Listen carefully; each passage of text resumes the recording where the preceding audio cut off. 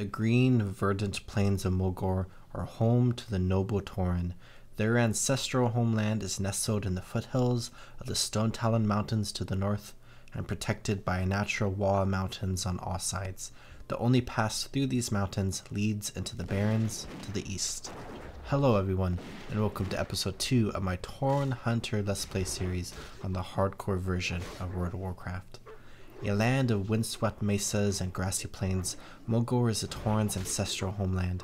Centaur often send raiding parties into Mulgore, and the Tauren, now with the help of their Horde allies, beat them back. Tauren are naturally a nomadic people, and their tent cities are scattered across the landscape and change with the seasons and the weather. Now that they are members of the Horde, the Tauren have constructed several permanent settlements, including their capital of Thunder Bluff. Mulgore provides bounty for the hunt as a diversity of wild beasts roam the rolling plains and climb the foothills of the surrounding range. In the northern section of Mulgore, the mesas of Thunderbluff tower above the plains, casting long shadows. Bloodhoof Village is centrally located, surrounded by the clear waters of Stonebull Lake. And further south, on the protected cliffs of Red Cloud Mesa, Camp Narache stands as the principal training camp for all young Tauren. Despite the serene landscape and the pine-scented breeze, Mulgore is fraught with trouble. Brambleblade Ravine and the sacred Red Rocks are overrun by Quilboar. The Goblin Run Venture Company infests the three sacred water wells of Mulgore, as well as their Venture Coal mine in the eastern mountain face. The Windfury Harpy tribe lay claim to the extreme northern reaches of Mulgore and the southeast mountain face. The Alliance makes its presence known at the Bael'dun dig site, where dwarves scour the mountains for traces of their shrouded ancestry, and a tribe of gnolls known as the Palemane make their home at the cave called Palemane Rock, as well as scattered camps along the southern mountains. This rich plain was once used by the Night Elves as prime hunting grounds. When the Great Sundering shattered the world, mountains pierced the earth, and the Night Elves fled north. The mighty Tauren made their home upon the low valleys and high plateaus after the Night Elves left. In time, the ash of upheaval disappeared and the once fertile grasslands returned. The aggressive Centaur claimed their right to the grasslands and have warred constantly against the Tauren for supremacy of the land, but the Tauren's mesa strongholds have so far proved impregnable. Mulgore is a landlocked region, with Desolace to the west, the Barrens to the east, the Stonetalon Mountains to the north, and the Thousand Needles to the south. Mulgore is the ancient homeland of the Tauren, who live on the windswept mesas and roam the grassy valleys. Below the mesas ridgelines are the vast emerald plains, which hold an abundance of life, including prairie wolves, young kodo beasts, and tall striders. The centaur horde mercilessly hounds the Tauren throughout Mulgore. The teepee-like tents and crude hide huts that comprise Tauren Town stand in stark contrast to the turning windmills and pulley structures that keep the Tauren grain mills operating. Large, ornately carved totems dot every street and stand above every major structure. Toward the eastern border, Quilboar displaced from Durotar have started creating dens with thorned hedgerow barriers. For now, it is a small concern for the Tauren, but if the bristly boarmen encroach too far, there will be a price to pay. At present, the Tauren are far more interested in what the Centaur are up to. Mulgore is filled with a variety of antelopes, rabbits, and wild boar, making it the ideal place for game hunting. A Tauren pastime involves hunting these animals to improve one's combat skills. The Tauren rarely eat their prey, preferring to graze on wheat and grass that grow wild in the valley. Once nomadic, the Tauren met with Thrall and his orcs when they landed on Kalimdor. Looking to the orcs for protection, they saw kindred spirits with honor and power.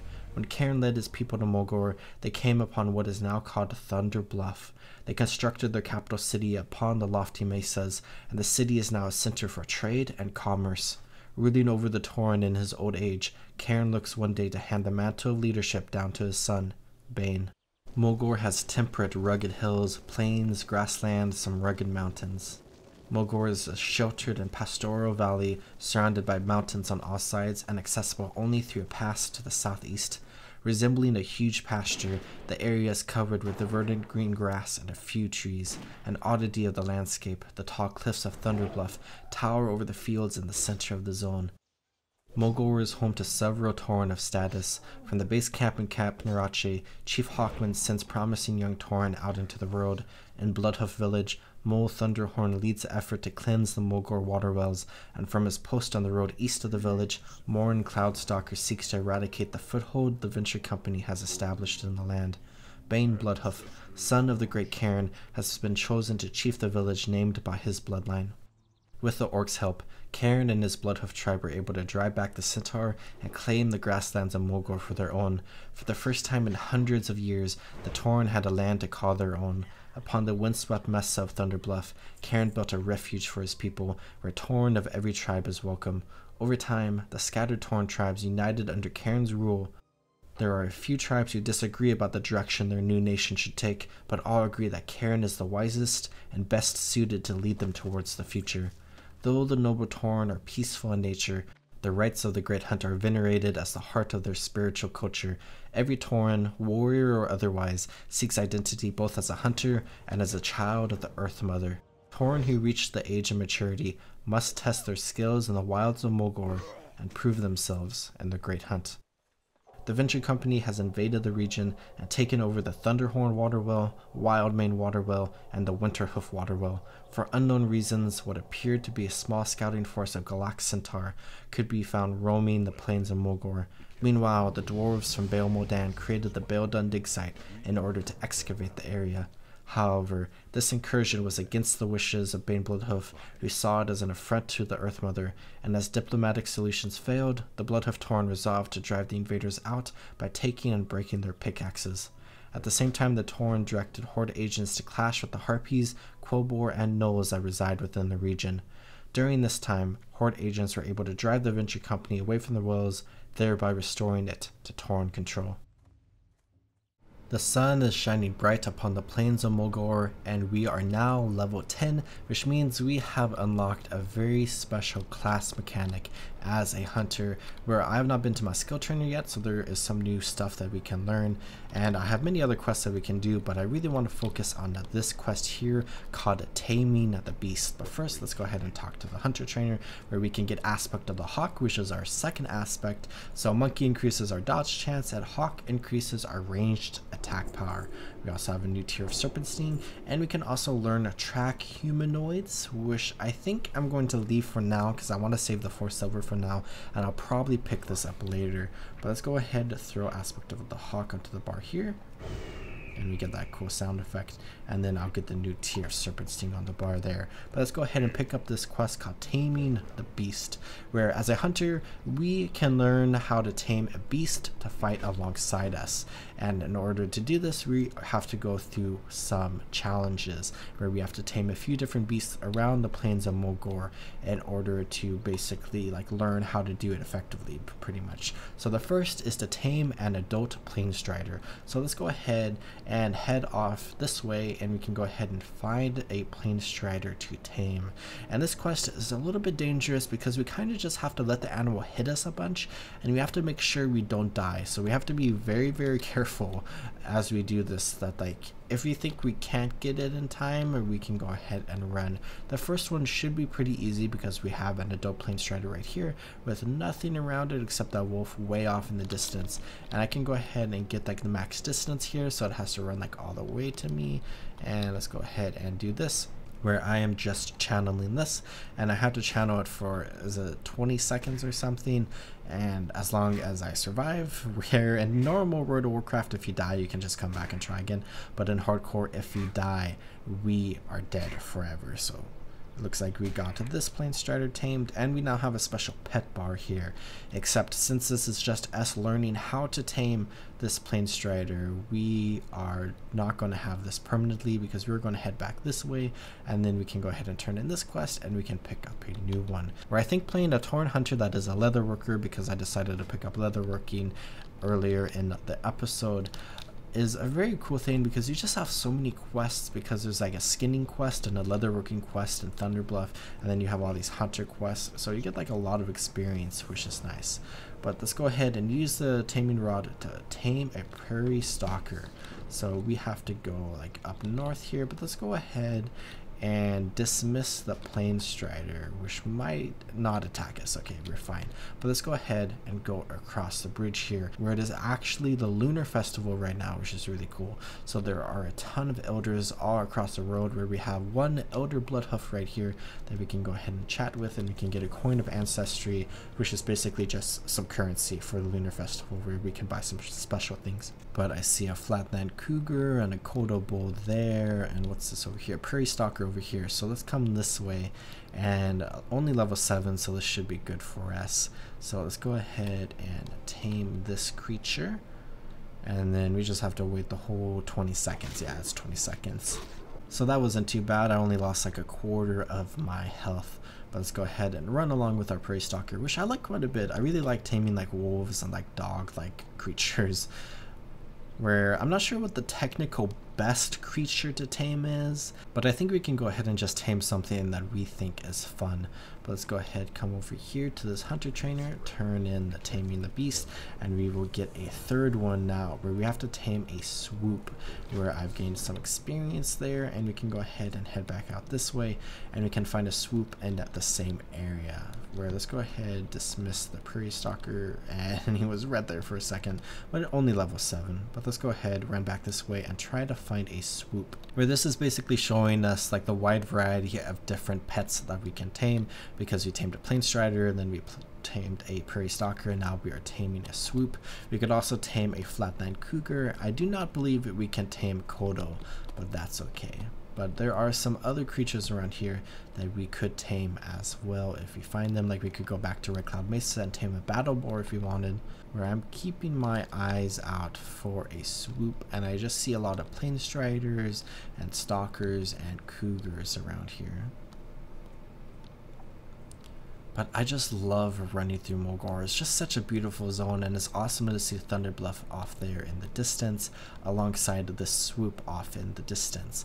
So this is going to be a little bit of a trickier one where I see one over here as well that I might come to because I don't want to get attacked by another creature as I do this. So let's go ahead, tame this swoop and hopefully nothing comes and attacks us in the next like 17 seconds, 15 seconds now that we have left where I see these two animals coming right this way. Okay, one of them turned around, but this prairie stalker is still coming.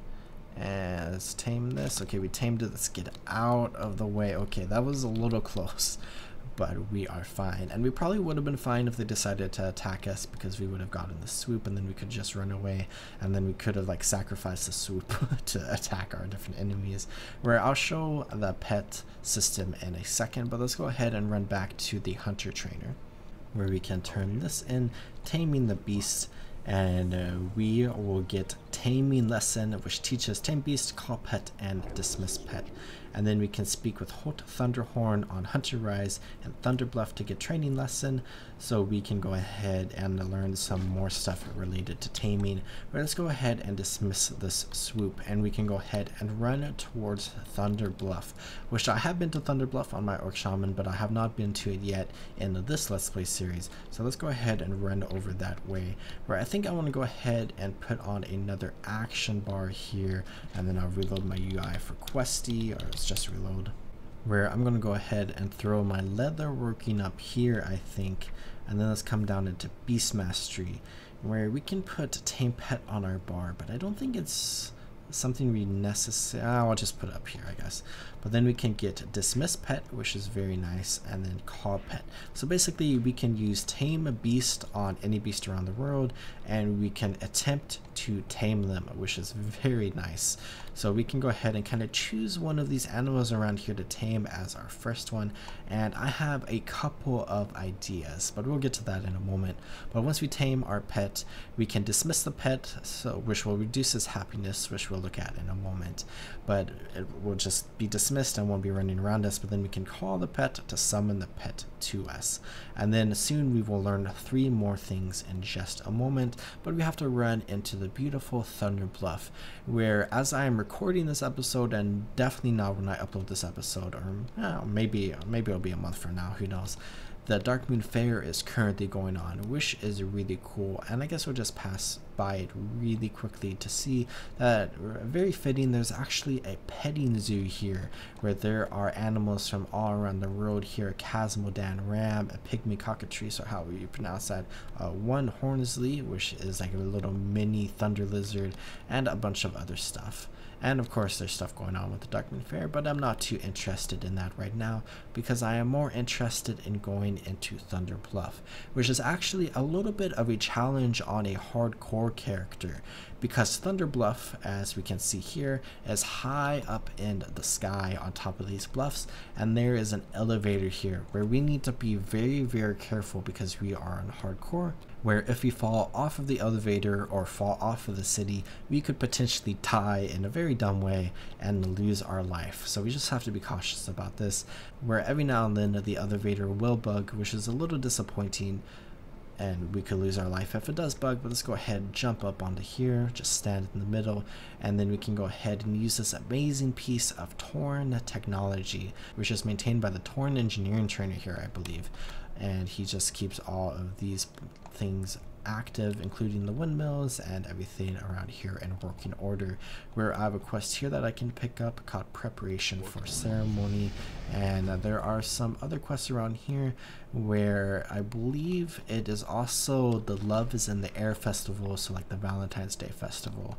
So we can see that there's a quest somewhere around here, and then there's also a quest over there. But I'm going to go ahead and take a quick detour from the Hunter Rise to come to the central tower here so we can go up to the second tier of the city, which is where the skinning and the leather working trainers are, because there are two quests over here that we can go ahead and grab really quickly, which should give us some experience. So we have Varantost right here where we can get Gathering Leather, which will give us a new piece of leather equipment here and we can also get a Kodo hide bag which I do not currently have all of the leather for all these right now but I guess I'll go ahead and do this one first where we can get this and then I'll come back with some leather and turn that in in the future and we could make some bags which is really cool but I'll go ahead and upgrade that really quickly. And if you look at the Kodo leather bag right here Kodo hide bag it is a six slot bag which we currently have three six slot bags plus an ammo pouch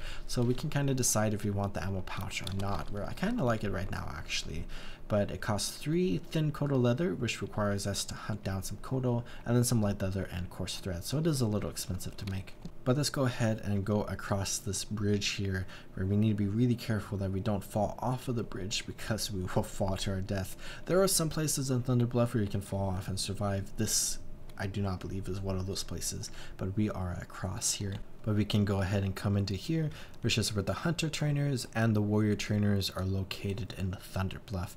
And we can talk to Holt Thunderhorn right here to turn in our training, the beast quest, to unlock the rest of our training abilities here, where we can go ahead and come into here, where we now have, what is it, uh, revive pet right here, that we can go ahead and throw onto our bar. So if our pet ever dies, we can just revive the pet, and then if we come up to here, we have beast training that I'll go ahead and throw here, where basically we can train special beast skills that we'll look at in a moment.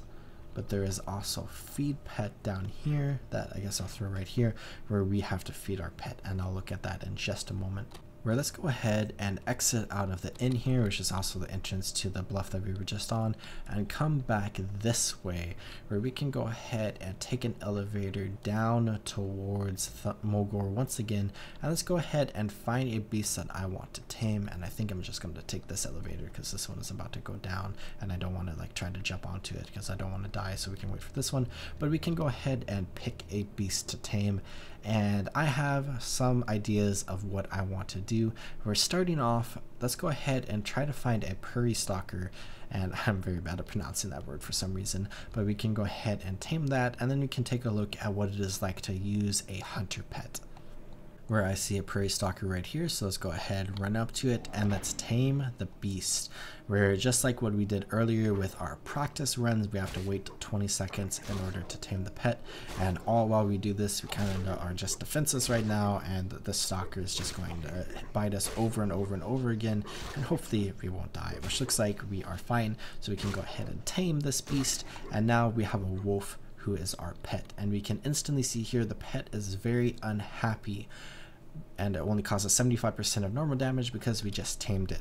Where in order to increase our pet's happiness, we can go ahead and feed it some leg meat here where it is now eating, so increases happiness, feed pet effect, and the happiness should go up a little bit and we can keep feeding all the way to its maximum happiness where it has a neutral happiness where it's like 100% of normal damage and then it has like a very happiness state where it's like 125% where I think, oh, it's just in here where we can come into here and we can see our pet panel here where we have a wolf, a level 8 wolf because we tamed a level 8 beast, where as we hunt the different creatures, we will be able to increase our pet's level. And that's something we need to like take into consideration. If we're like a level 53 and we come to Mulgore to tame like a level 6 beast in the future, we have to be wary that I believe the beast will be level 6 when we tame it but we can go ahead and keep feeding it stuff to increase its happiness where it is now content, causes 125% of normal damage, and is gaining loyalty, where there are six loyalty levels right here. And I think in classic WoW, if the loyalty level is level one for like too long, the pet will run away and you will lose the pet. I'm not sure if that's actually the case or not, so maybe I'll double check that, or maybe I won't. But basically, we just want to make sure that our pet is well fed all the time, and each individual pet or type of pet will only eat specific things. Where if you look at this wolf's diet right here, its diet is meat. So it is a pretty limited diet compared to some other pets that can eat a wide variety of different things. But of course, pets have their own stats and stuff like that. And if we come into here, we can see some of our pet skills where it has bite, the bite the enemy causing seven to nine damage. And if we come into beast training here, we can learn growl and growl rank two that uh, our pet's not high enough level because only level eight and we need to be level 10 where we have growl here which is basically a taunt skill. So we can go ahead and send our wolf in by using this attack button right here.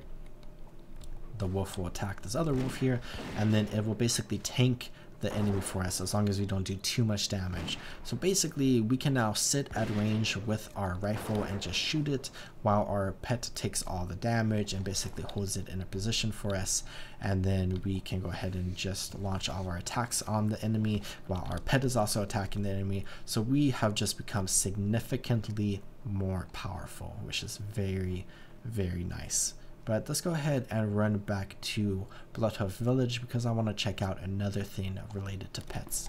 Where a little bit of a fun fact, we have this character Varjun right here who is looking for someone important. And this character is actually important for priests, where Tauren cannot be priest characters, but if a troll or an undead makes their way here to Mulgore to level in Mulgore and they talk to this person, this person will remind them at level 10 that they have to return to Durotar or to Tirisfal Glades in order to learn some special priest stuff, which is a very fun kind of like thing right there and like a very random NPC. But outside of every single inn, we have an important NPC for hunters, which is a stable master who is outside of most inns at least I think. But we can go ahead and chat with the stable master where we currently have our wolf right here who we can actually name. So we can rename our wolf and I'll go ahead and name our wolf Kaizen because that was the name of my last dog. But we now have our wolf Kaizen and we can go ahead and stable the pet which costs five silver for our first one and then five gold for our second one. So I just used up all my money there. But we can go ahead and just throw our pet into the stables, which basically means we have stored this pet now. So we can come back to the stables and we can go ahead and pull this pet out of the stables whenever we want, just like that. But we can store it, which allows us in the old version of World of Warcraft to have a total of three different pets tamed, where we can only have one active pet and then we can have two stabled that we can use later. So I stabled Kaizen because I want to go look for another pet. Where the wolf is really cool, I like Kaizen a lot, but I really want to do something a little bit bold because we are on hardcore and if we die, we are dead forever and I want to go tame a very challenging pet where I've kind of done everything that I wanted to do on this character, and here on out is pretty much just a lot of bonus fun as we kind of see how far we can get, and we can talk about some random pieces of lore and story related to the world of Azeroth, but if you die, I am not too heartbroken. So we made it a little bit further than what I wanted to on our last character, which is nice.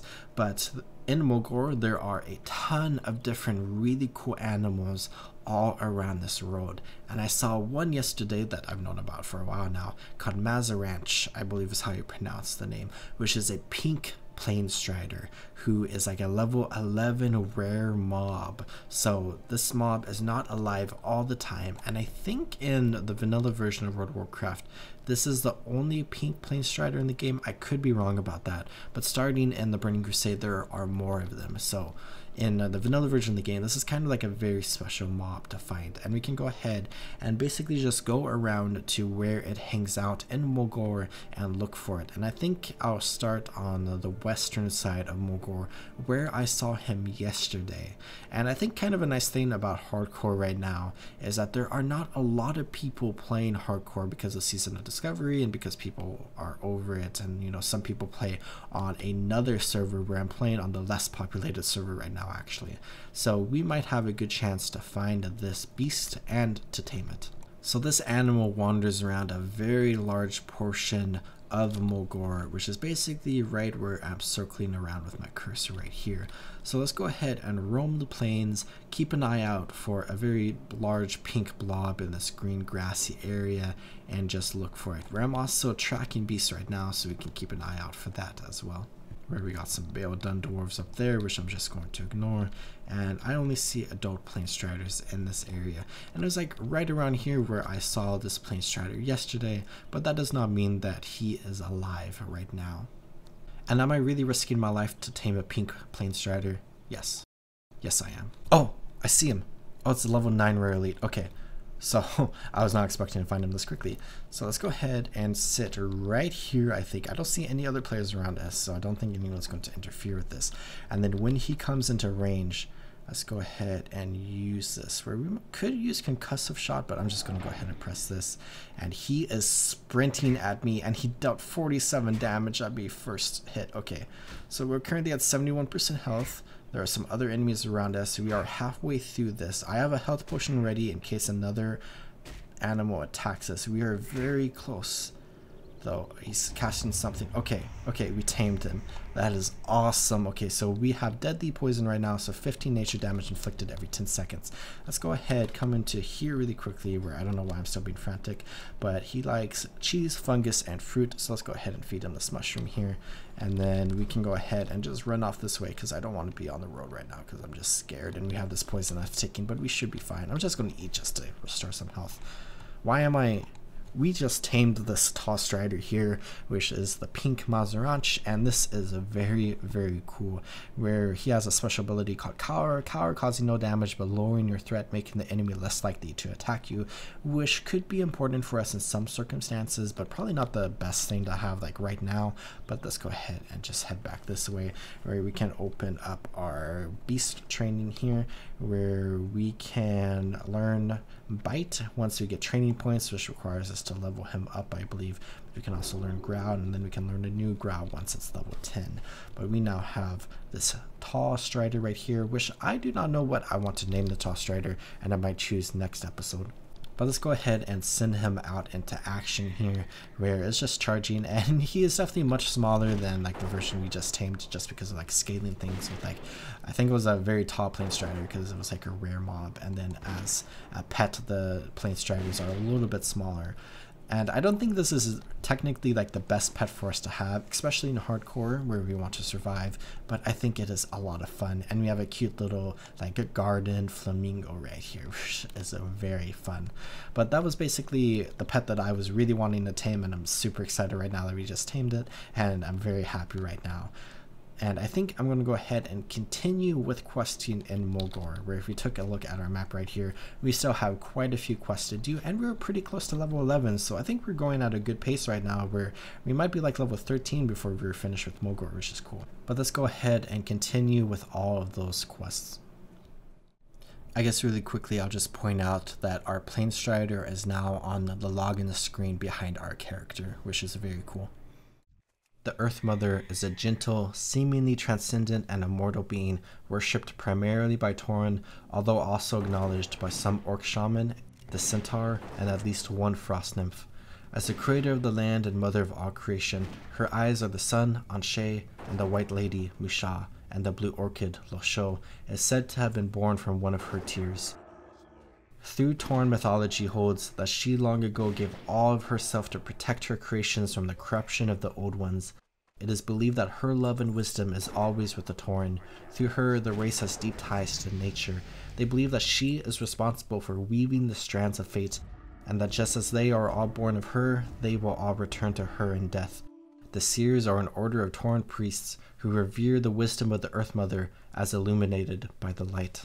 Before the Age of Memory, before Azeroth had night or day, the Earth Mother roamed the emptiness of the world. Alone, she braved the shadows and whispers that rose from the Old Ones trapped in the depths, and they could not sway her. However, she was with child and knew she could not labor with nothing to safeguard her newborn from the darkness. She searched for a haven where she could safely give birth to the light of her heart, but found none.